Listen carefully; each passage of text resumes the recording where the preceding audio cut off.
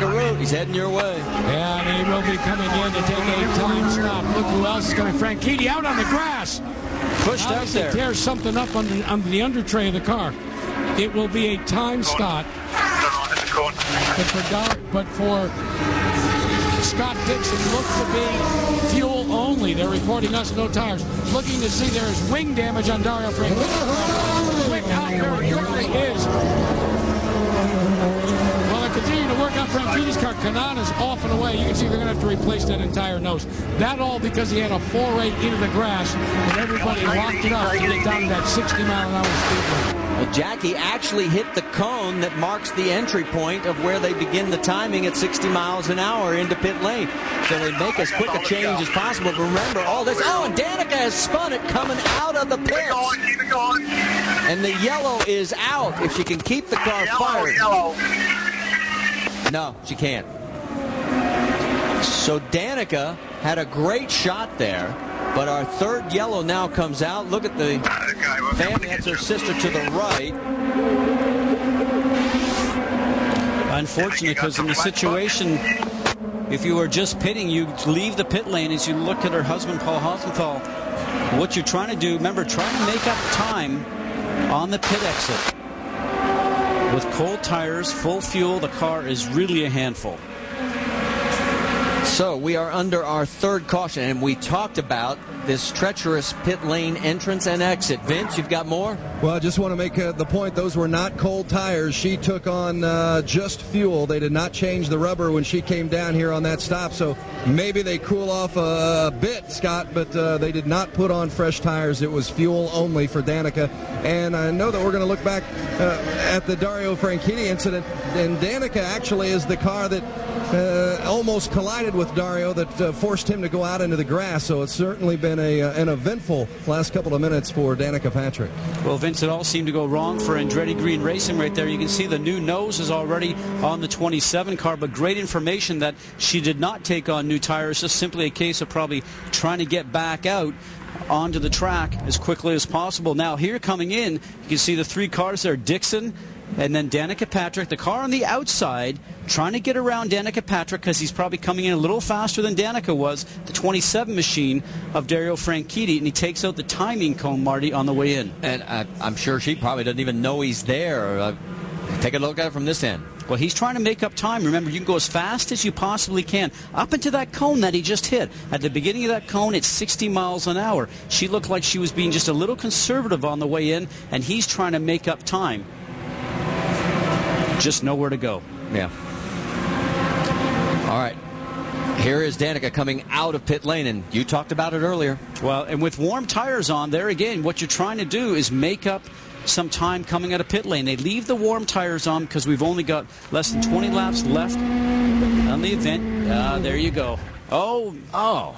And she just spun it and hit the wall.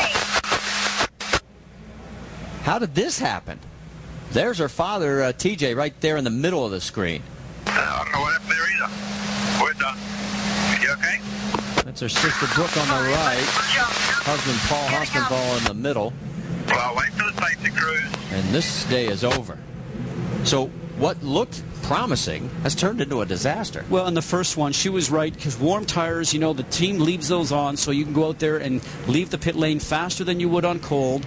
And in that situation, the car just came around on her. But Vince Welch, you have more on Danica now? Well, you see, as baffled as she looks, and the crew has the same look on their face. They were over the wall waiting on her to come back into the pits because she had flat spotted the tires on the way out on the initial spin. So they were going to have to put four tires back on the car. They were waiting uh, over the wall, waiting on her to come in, and they saw on the big screen here the contact that she made. They were all as baffled as she seemed to be on the radio. So definitely not finishing up the way Danica or TJ Patrick was expecting here at Kentucky.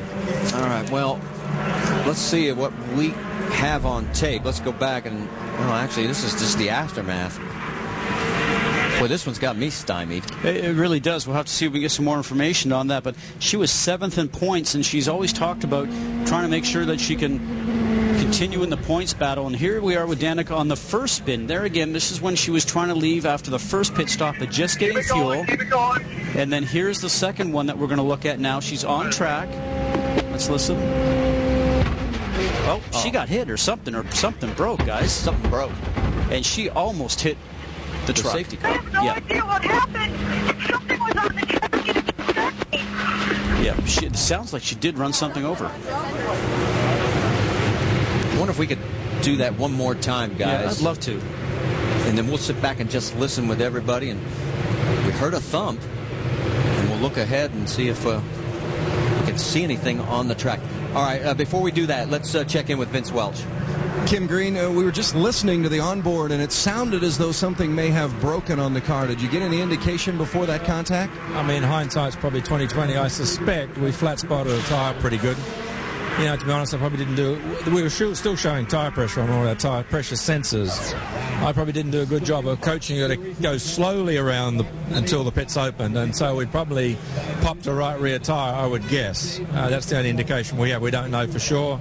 We didn't have a good day in the pits either. We made some mistakes there. So uh, had a pretty fast race car. So not a good finish. And Danica did a much better job than where we ended up. And we're sorry. We probably put her in the fence, not Danica.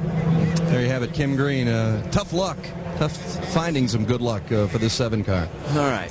Well, while all this is going on, we also point out that AJ Foyt the fourth is shown in the race lead. They say that he came through the blend line before Tony Kanaan and Scott Dixon and Marco Andretti.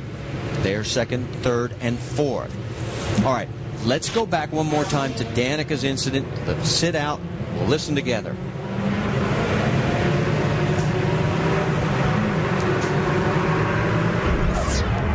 Wait a minute, it will be tires only.